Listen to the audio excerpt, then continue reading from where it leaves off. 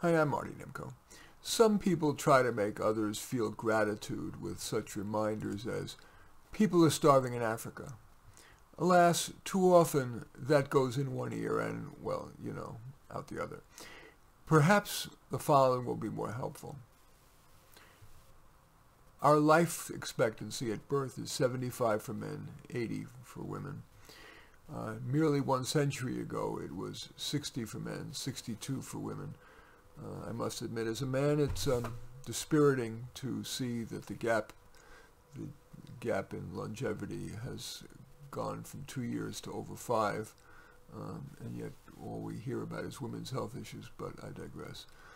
Um, we not only, these by the way, these are examples of bases for gratitude that I think are worth, uh, uh, that are more, more useful perhaps than uh, people are starving in Africa we another example is we not only live longer, we live more comfortably. When I grew up, only the rich had air conditioning, for example. Now most people and most workplaces and stores do. Speaking of stores, if I wanted to buy, say, a shirt, it meant getting in the car, driving in traffic, uh, parking, um, searching stores in hopes of having uh, something I really like and in my size. Now, a few clicks, um, enormous choices that are easy to easy to access, uh, and it's at my door often the next day. Think of how we've benefited from technology. For example, Google search can get us virtually whatever information or entertainment that we want instantly. I recall when I was growing up, getting what I wanted to know required a trip to the library, well, sometimes the World Book Encyclopedia. When I wanted to watch a movie, I had to pay and park at a theater at a specific time. If I wanted to watch a TV series' next episode, I had to wait a week and be in front of my black and white 19-inch TV at that specified time.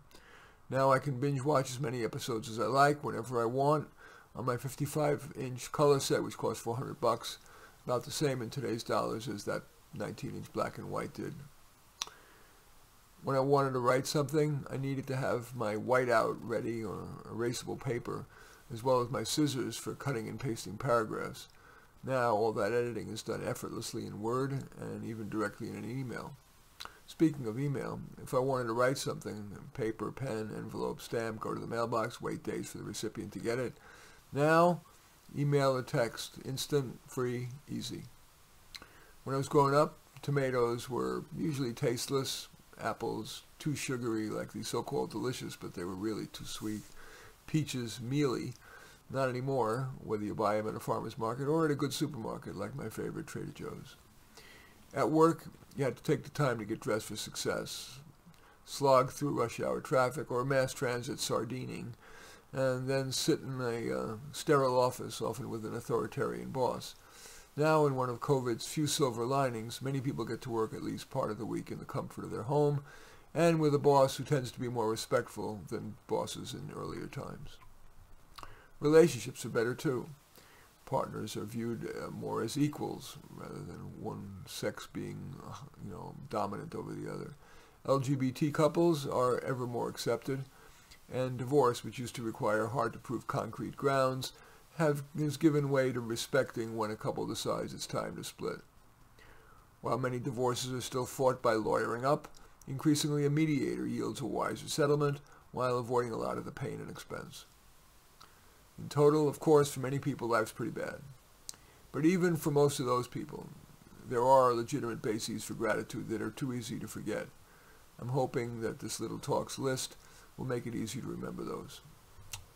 Uh, anyway, I thank you for watching. I'm Marty Nemko. I welcome your thumbs up and accept your thumbs down. I always look forward to your comments and especially like it if you hit the share button below. Share on your social media so that my efforts can have broader impact. And I am flattered if you choose to subscribe to my channel. In any event, I do thank you for watching. I am Marty Nemko.